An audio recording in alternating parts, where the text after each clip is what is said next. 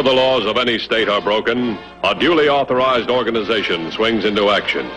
It may be called the state police, state troopers, militia, the rangers, or the highway patrol.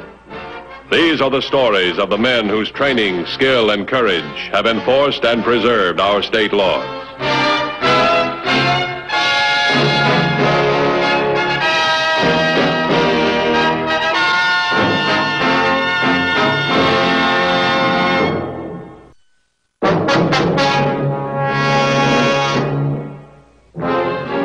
The process of maintaining law and order along the highways and byways of the state, the Highway Patrol is confronted with many unusual crimes and criminals. But the most baffling crime is often committed by a first offender, a person considered above suspicion. Such a crime occurred on May 13th. Oh, hello, Meeker. What can I do for you? What's happened to my check? It's been due for over a week. Well, you'll have to turn in a corrected bill for that. Well, why? There wasn't anything wrong with the bill I turned in. Mr. Morgan had a little talk with me. He thinks the job should have been done in five days. But I estimated the job at seven days absolute minimum, and you okayed it. Well, uh, I, I changed my mind. Now I think the job should have been done in five days. Where's Mr. Morgan? I want to see him. He's going to be home for a few days. Why don't you, why don't you come back next week sometime? Next week won't do. I've got to pay my loaders and drivers today. Look, Meeker. Will you take my advice? Turn in a corrected bill for five days. That's all he's going to pay. And Mr. Morgan can be a pretty stubborn man when he wants to be. So can I. Especially when I know I'm right.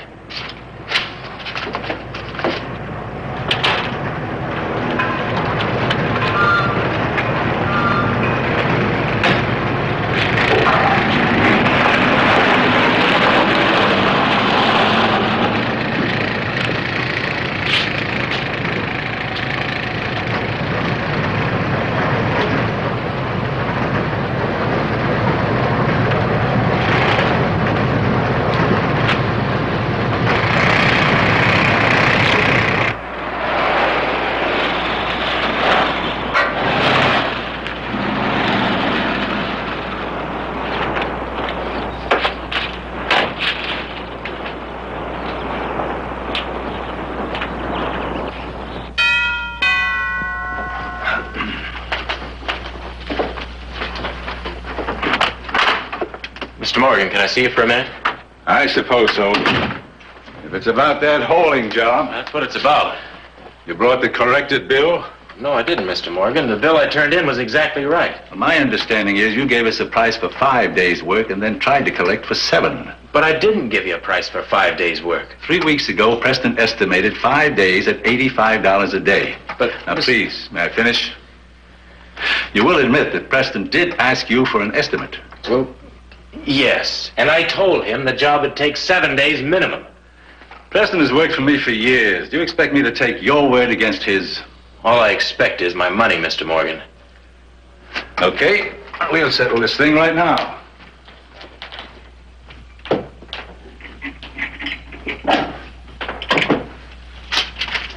I'll pay you five days, $85 a day.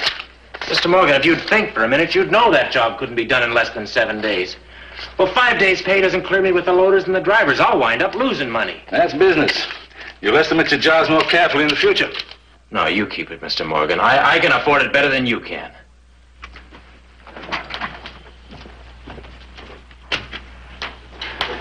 Get out of here, Meeker. Get out before I throw you out. I wouldn't believe it. You're as bad as Preston. You're a swindler. You're both crooks.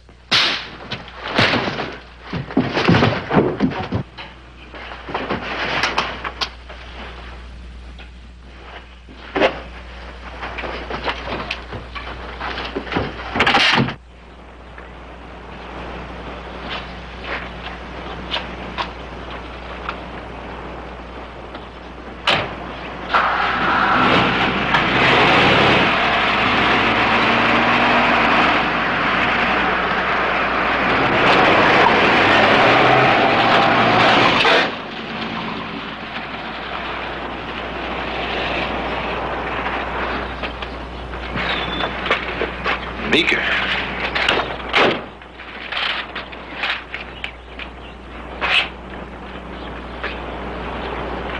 Mr. Morgan? Are you there? It's Preston.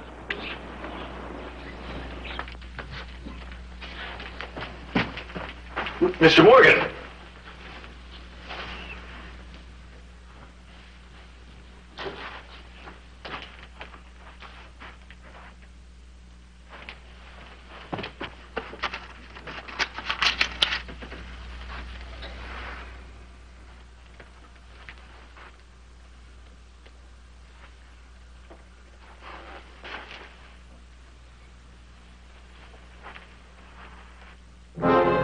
Preston, a man with a background of honesty and respectability, is presented with a sudden and violent temptation.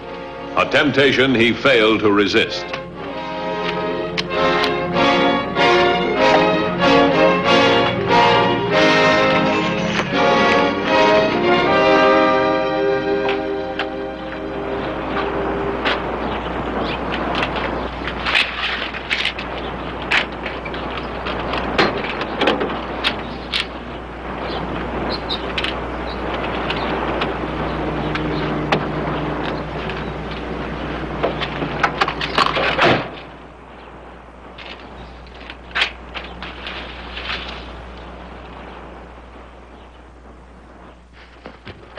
Mr. Morgan. Ah. What happened?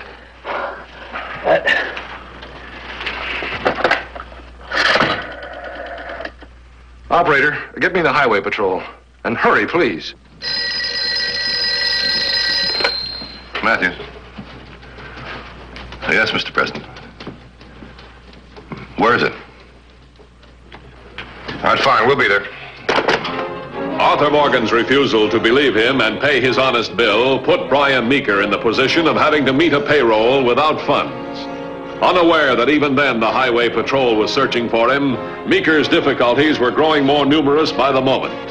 The bank, refusing his needed loan, put still another problem before the youthful contractor. And you say Meeker was gone when you came to. That's right, he was gone. Then what happened? Well, I was getting to my feet when Preston here came in and helped me. When did you get here? Well, I uh, drove up just as Meeker was pulling out. I see. When did you find the money was missing? Well, almost immediately. I went to close the safe. The money wasn't there. Preston's your only witness to the fact that the money was missing. Well, no, I don't think. Preston ever went near the safe. Did you? No. No, I, I never did.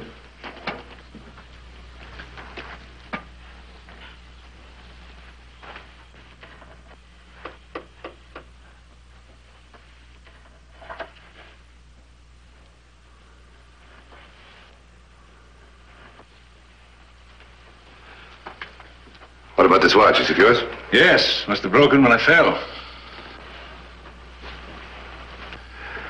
Seen better days. What about these glasses? No, I never wear glasses. They're yours? No, uh, I wear glasses, but uh, tho- those are not mine, no. Well, what are you going to do about all this? I'll pick up Meeker, bring him over here, see what he's got to say.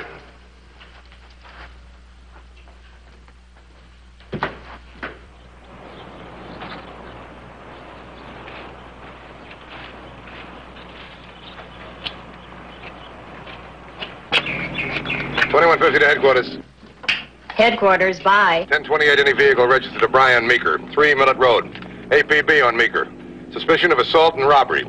He's about twenty-five, five feet eleven, dark hair. Last seen wearing jeans, check shirt, and leather jacket. Ten four. 10 4. Let's go.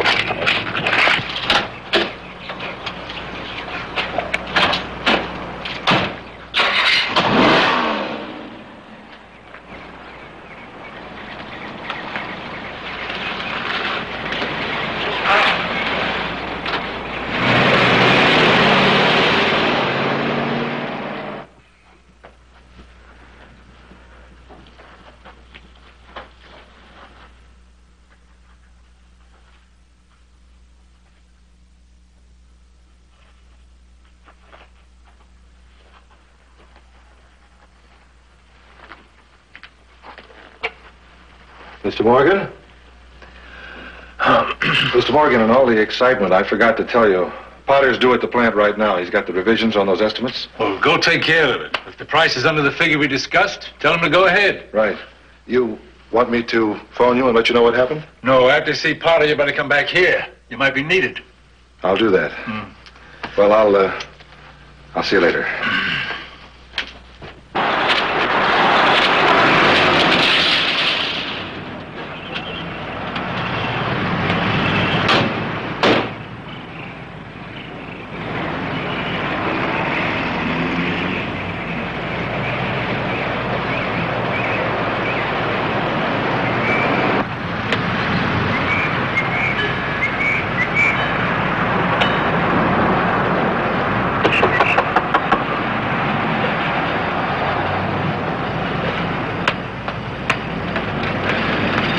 Any sign of life?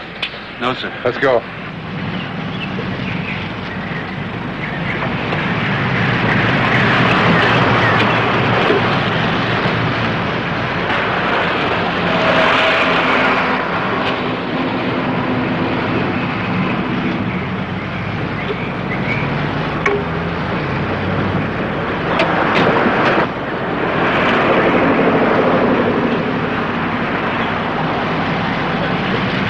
Are Brian Meeker? That's right. You're under arrest. Let me have the keys. Put your hands against the wall. You won't find anything, mister. I hit it with my fist. Check the car. Yes, sir. Get inside. Morgan had $12,000 before the fight. What happened to it? Hey, wait a minute. What are you getting at? It's missing. He said you took it. Well, that makes him even worse than I thought. He's a no good liar. Well, look, Mr. Matthews, I know you're a police officer with a job to do, but will you listen to my side of this story? Sure, go ahead. I just got an independent contractor's license. I, I, I invested all my ready cash in a truck. I've done a lot of work for Mr. Morgan. Well, one time he even offered me a job, but I figured I'd rather be on my own. Then this job came along, and to show my appreciation, I cut my estimate to where I'd only make a little over a $100 in seven days. Here's the time cards on the loaders and the drivers. And here's a memorandum on a trip that spilled over into the eighth day. I didn't even put that on the bill. I agreed to do the job in seven days, and I kept my word. What's that got to do with $12,000? Look, I've been working for four years to get myself started in business. I'm coming along slow, but I'm making lots of friends. I'm going to get married. Well, wouldn't I be a fool to steal Mr. Morgan's money and ruin my whole life? Were you near Morgan's safe when you were there this morning? No, I wasn't. He went to the safe and got the money to pay me for five days, and when I refused it, he put it back in the safe. You're sure you weren't near it? Positive. All right. Here are your glasses. They were found right under the safe. I never wore glasses in my life. I got 20-20 vision, and that's something I can prove to anybody. I hope you're right, kid. Let's go.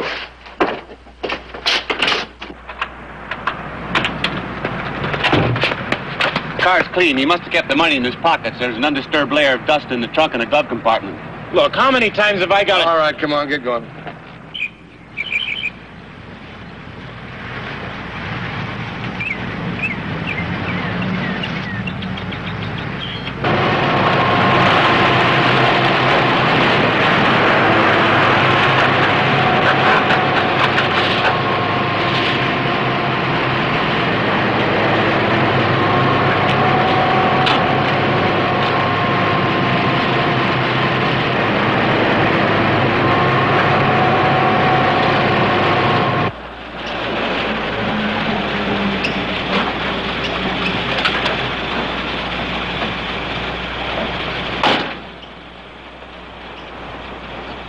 The glasses.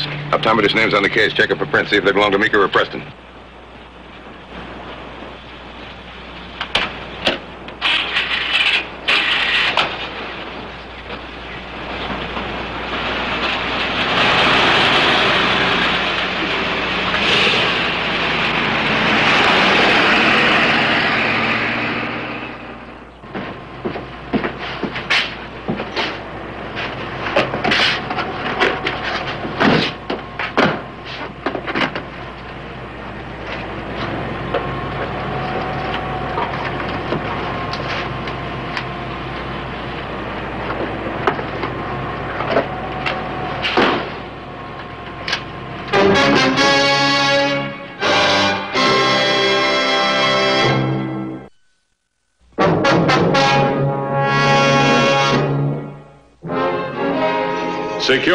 Knowledge that the stolen money was safely hidden, Preston turned his attention to the business next in order that of fastening the guilt upon young Brian Meeker and keeping himself in the clear.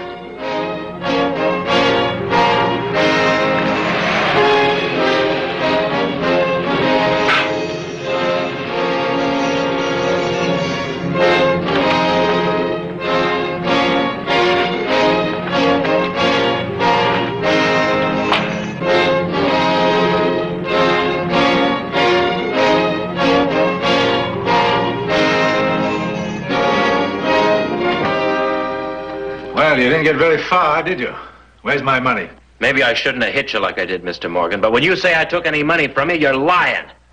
Meeker, you. All right, simmer down. Stop calling each other names. Well, he stole my money. The assault charge is obvious. The theft charge is one man's word against another. But Preston here is a witness. A witness to what? You said he wasn't even near the safe. Well, yes, that's true. Can you swear there was $12,000 in there? Did you see it? Well, no. Well, you have my word for it. Do you want to prefer charges? I do. I demand the arrest of Meeker on a charge of assault with intent to do bodily harm and the theft of $12,000. Assault will do for the moment. Mr. Matthews. You'll have your day in court. Let's go.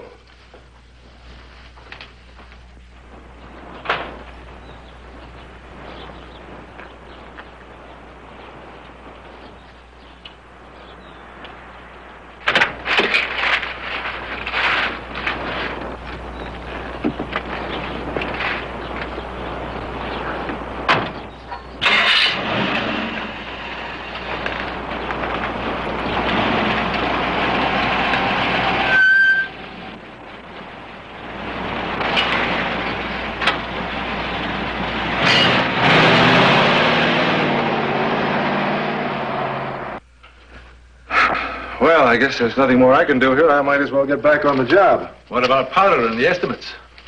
Oh, uh, well, he called to say he couldn't make it. I expect to see him later this afternoon. Well, if he tries to back out of his agreement, call me. But I hope we don't have any more excitement today. So do I. Well, I'll, uh, I'll ring you later on.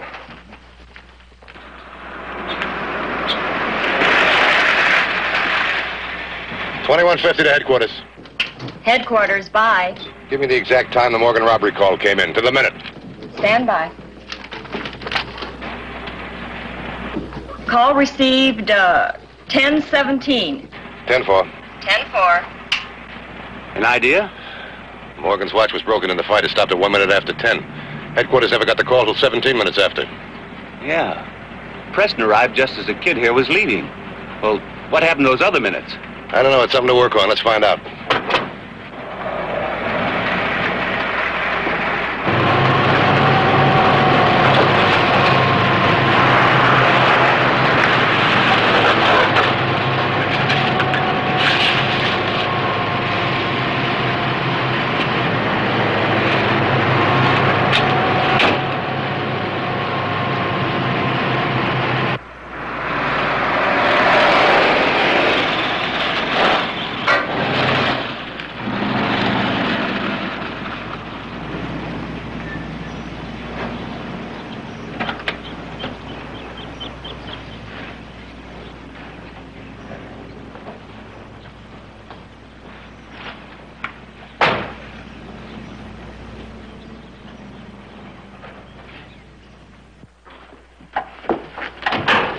I'd like to talk to you about that broken watch of yours. What about it? Does it keep good time? I don't think it gained or lost a minute a week. Why?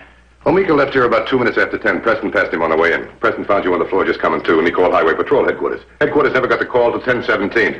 Right now, we're looking for 10 or 12 minutes, and what happened during that time? I wouldn't know. I was unconscious. What about Preston? He wasn't unconscious. Oh, I don't think it's Oh, wait a minute. Did either one of you leave the house while we were looking for Meeker today? Well, Preston did. Yeah, where'd he go? Back to construction yard Why?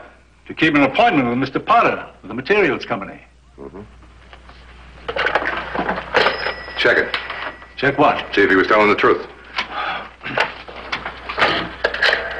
This is ridiculous. Could be. Hello, this is Arthur Morgan. May I speak with Mr. Potter? Hello, Potter. Say, about that appointment you had with Preston today. You didn't have an appointment with Preston? Well, what about those estimates? Oh, yes, I understand. Thank you very much. Yes, as soon as I can. All right, what goes? Potter sent those estimates to the field office by a special delivery by a messenger this morning. Preston signed for them. Hello. Just a minute. For you. Oh, thanks. Miss Matthews. What's that again? Okay. Those glasses were made for Preston. Then Preston lied when he said he hadn't been near the safe. Yeah, where is he now? Well, when he left here, he was going back to the plant. Thanks. Mr. Matthews. Yeah, what? What about Meeker? Well, he's still under arrest unless you withdraw the assault charge. I withdraw the charge. Both of them. You only had one. Next time, keep your hands in your pockets, kid. Yeah.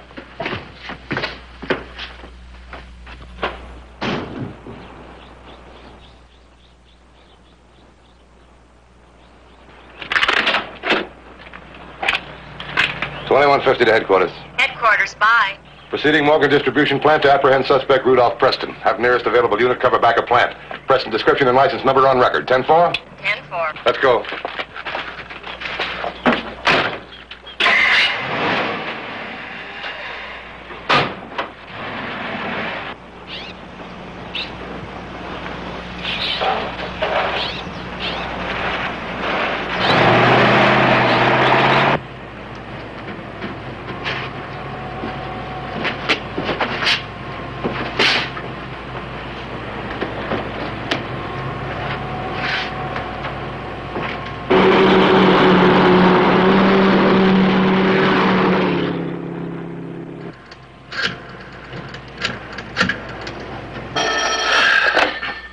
Hello?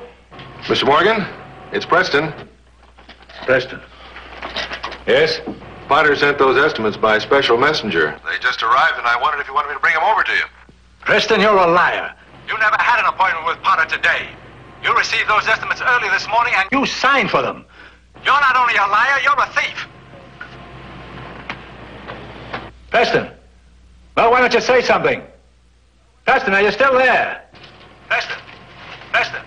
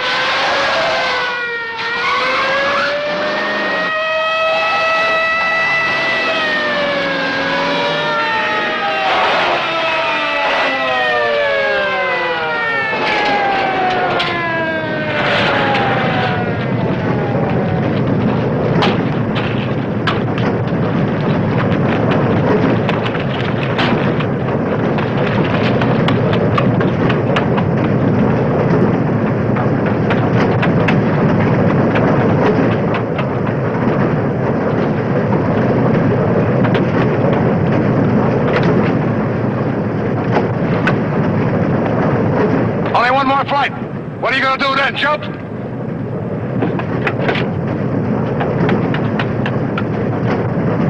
All right, turn around.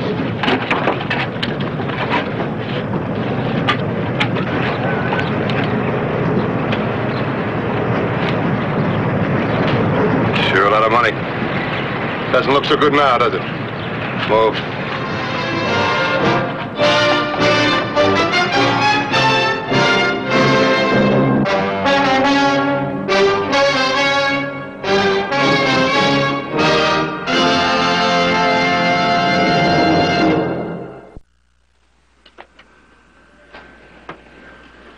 See Highway Patrol again next week. Until then, remember, it isn't what you drive, but how you drive that counts. This is Broderick Crawford saying, see you next week.